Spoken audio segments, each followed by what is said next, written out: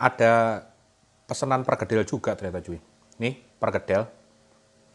Perkedel.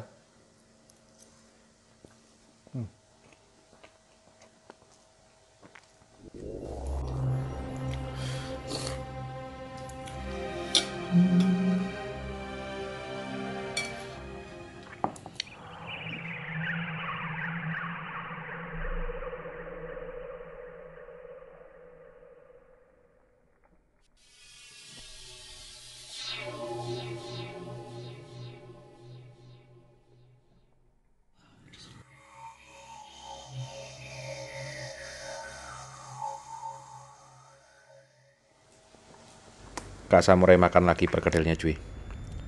Fungaise ini cuy. Telurnya banyak, gurih juga.